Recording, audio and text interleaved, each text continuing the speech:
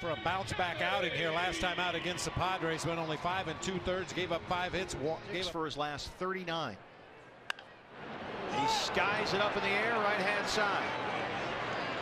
Paul Goldschmidt underneath. This point in a season since he's been with the Diamondbacks.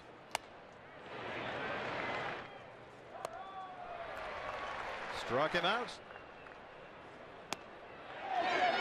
Yes, he went, says Mike Malinsky, and that's the end of the inning. Third strikeout for Ian Kennedy.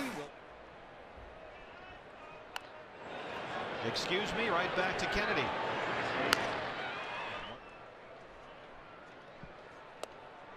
Struck him out.